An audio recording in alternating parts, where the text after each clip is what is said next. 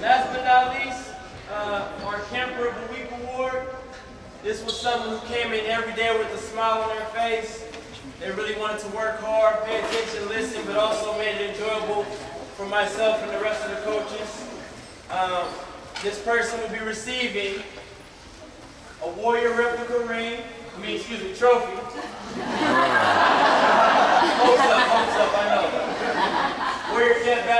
Basketball t-shirt, a Warrior Camp water ball, water bottle, and an autographed Splash Brother Klay Thompson jersey. Camper of the week this week, Michelle